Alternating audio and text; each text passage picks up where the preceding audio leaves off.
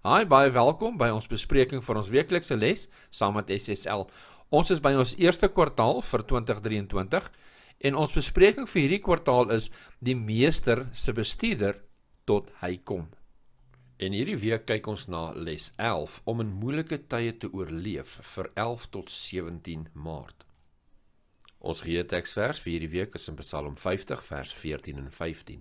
Dit lees: Offer dank aan God en betaal jou geloftes aan die Allerhoogste en roep my aan in die dag van benoudheid. Ek sal jou uithelp en jy moet my eer. Psalm 50 vers 14 en 15. Ek lees weer. Offer dank aan God en betaal jou geloftes aan die Allerhoogste en roep my aan in die dag van benoudheid. Ek sal jou uithelp en jy moet my eer. Psalm 50 vers 14 en 15. Kom ons open met gebed. Hemelse Vader, baie baie dankie vir nog 'n lesie wat ons kan bespreek. Ek wil bid Here asseblief dat U ons insig sal gee in vandag se les en die woord in ons sal open. Ons bid dit in Jesus se naam. Amen. Haai, baie welkom by ons bespreking vir vandag se les. Ons is by Donderdag 16 Maart. Wanneer niemand kan koop of verkoop nie.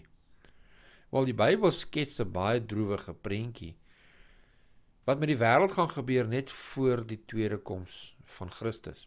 Die boek Daniël praat van 'n tyd van benoudheid soos daar nie gewees het vandat 'n volk bestaan het tot op die tyd nie. Daniël 2 vers 1. En as ons bietjie dink aan die vreeslike dinge wat alreeds in die verlede op die aarde gebeur het, dan moet ons besef dat dit waarna Daniël 2 vers 1 verwys baie erg gaan moet wees. Die boek Openbaring praat ook van hierdie omstuimige tyd net voor die wederkoms van Christus. Die les vra ons moet kyk na Openbaring 13 vers 11 tot 17 dan vra die les hoe pas finansiële sake in by die eindtyd vervolging. Openbaring 13 vers 11 tot vers 17. En uit die aarde het ek 'n ander dier sien opkom en hy het twee horings gehad net soos 'n lam en het gepraat soos 'n draak. En hy oefen al die mag van die eerste dier uit voor sy oë en hy maak dat die aarde en die wat daarop woon die eerste dier aanbid waarvan die dodelike wond genees is. Hy doen ook groot tekens sodat hy selfs vuur uit die hemel laat neerdal op die aarde voor die oë van die mense. En hy verlei die bewoners van die aarde deur die tekens wat hom gegee is om voor die oë van die dier te doen.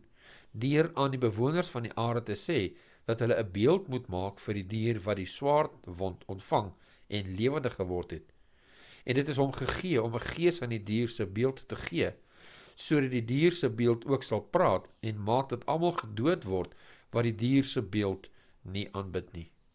En hy maak dat aan almal klein en groot en die rykes en die armes en die vrye mense en die slawe 'n merk op hulle regterhand en op hulle voorhoofde gegee word sodat niemand kan koop of verkoop nie behalwe hy wat die merk of die naam van die dier of die getal van sy naam het nie koop en verkoop nie.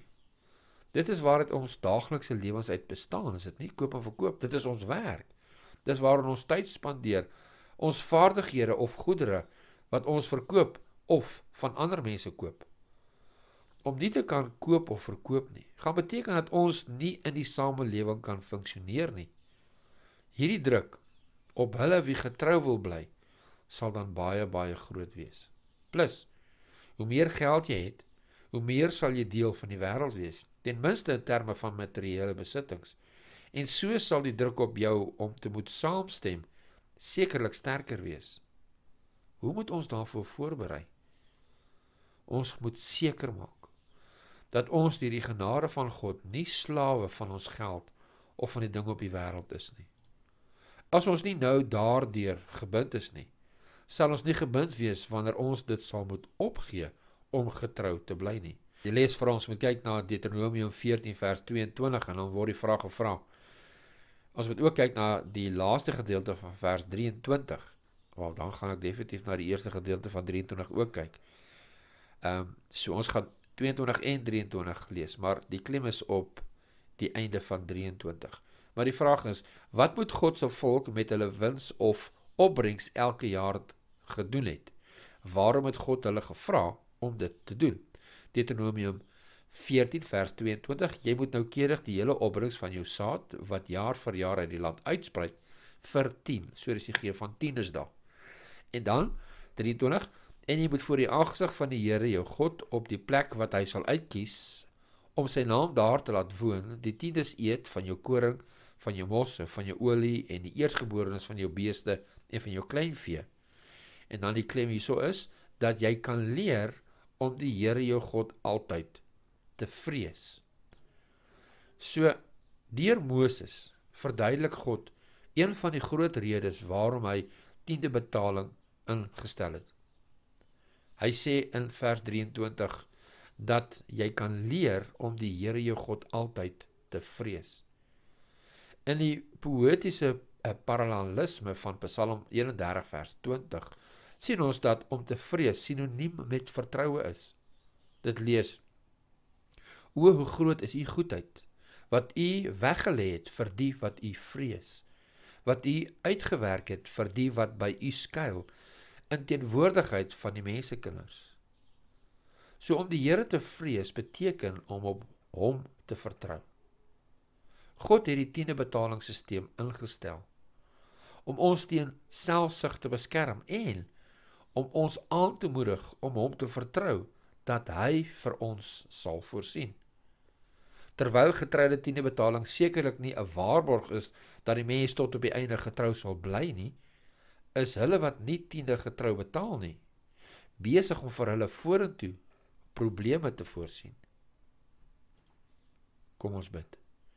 Hemelse Vader, baie baie dankie Here dat u plan van verlossing so perfek is, so mooi is tot die instelling van die tiende betaling Here, doen U nie omdat U enigiets iets kort nie, maar dit dien tot die tot die bou van ons karakters. Hemelse Vader, want U weet selfsug het 'n baie groot greep op 'n mens se hart. En bekommernis oor die wêreld en alles wat daaroor kom.